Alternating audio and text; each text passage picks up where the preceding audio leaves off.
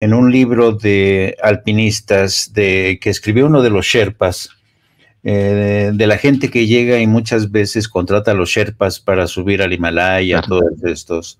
Ya ves que eh, llegan los eh, alpinistas y se quieren comer el mundo, quieren llegar luego, luego.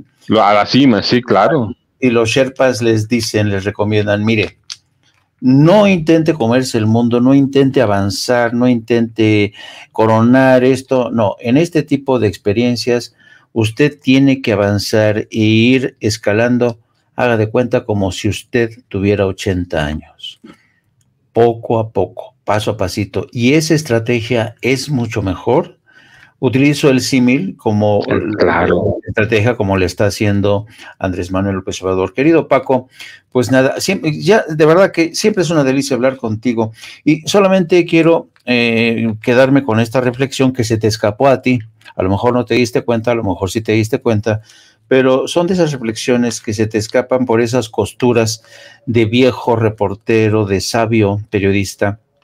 Dijiste, a veces es, ahí tenemos esa realidad de enfrente de que no se puede escribir y no se puede decir.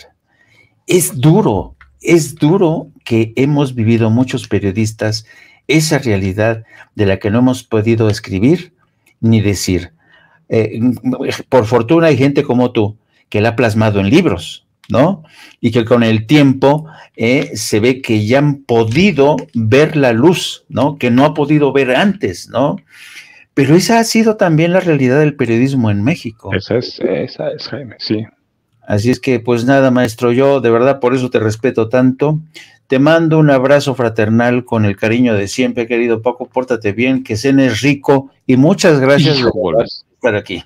¿Qué vas a cenar? ¿Qué vas a cenar? Jaime, por lo pronto, fíjate, te voy a decir a mí que me encanta en, noches como esta, ¿sí? Este, aquí en mi pueblo venden unos este, panitos que se llaman puerquitos. Sí. Que seguramente allá en Ciudad de México también los venden, porque allá los he comido. O, las piedras que me encantan desde niño. Mi mamá tenía una panadería, fíjate, cuando éramos niños, allá cerca de la villa. Deliciosas, deliciosas las piedras. Fíjate, entonces me voy a tomar un vaso con leche, leche con canela que me encanta, este, me voy a comer un panito y este, hoy, los, los viernes, sábado y domingo, hay una vecina que no, no, no aquí cerca, pero como tengo que caminar como un kilómetro, este, pero los viernes sale la gente a la calle que vende unas tostadas como las que hacía mi mamá. Así que me voy a comprar un par de tostadas, Jaime. Este, cualquier día nos sentaremos a convivir.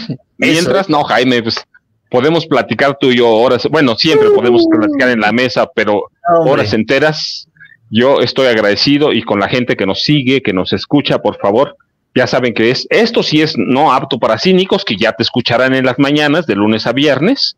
Este, entonces, Jaime, muchas gracias, un abrazo, pásala bien el fin de semana.